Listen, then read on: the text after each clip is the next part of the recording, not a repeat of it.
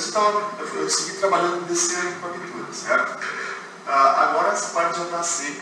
Vou ter passado dois dias ah, ou mais trabalhando na tela. Nesse caso fica difícil conseguir fazer a mistura sem que apareça a parte de baixo da pintura. Então a ideia é o seguinte, uh, facilitando um pouco, trabalhar com bastante tinta na emenda, onde já está seco, tu não pode fazer uma difusão fácil, e sem ficar borrando muito, porque quanto mais tu, tu ficar uh, querendo alisar, desfocar, mais vai aparecer a cor que tem embaixo, ok? Porque o, o desfocar ele vai acabar tirando tinta e vai dando transparência, então aparece a cor que tem embaixo. Então é trabalhar com bastante tinta na emenda e manter a pincelada curta, né? sempre manter a pincelada curta, leve.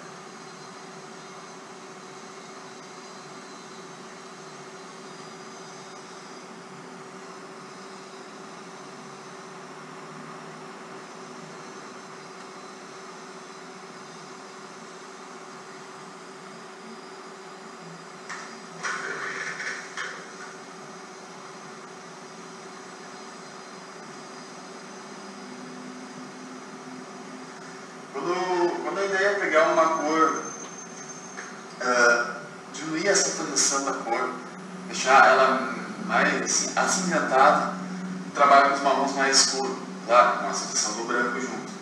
Então ela não fica aquela, aquela pele colorida em excesso. E, e mesmo assim conseguindo manter uh, a variação de tons, que é super importante.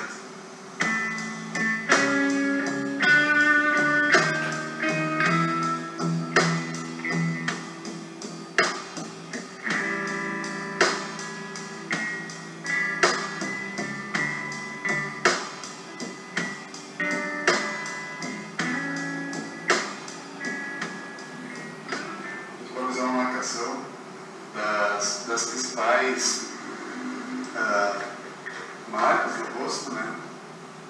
Para não se perder por estar tentando coisa tão grande.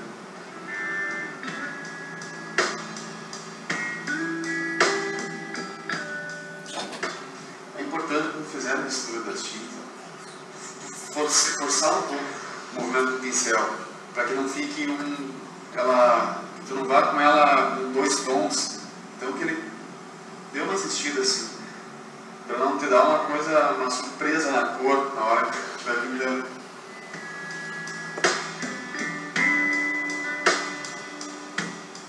E a, e a, quanto mais, mais mistura, mais tu sujar a bandeja, mas não sujar ela com um único tom, que eu falei antes, pegar a cor e fazer uma cor redondinha, perfeitinha. Não, se nós olhar aqui nesse trecho aqui, olha a variação de tons que eu já tenho aqui, então sei Sei não, eu tento saber, ou tento errar menos, mas a variação dos tons que tem aqui, isso facilita muito na pele.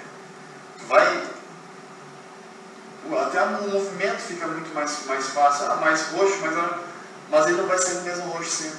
Vai sair o mesmo ah, uh, Nápoles, amarelo Nápoles, o que for. Ele vai ter a variação vai ser.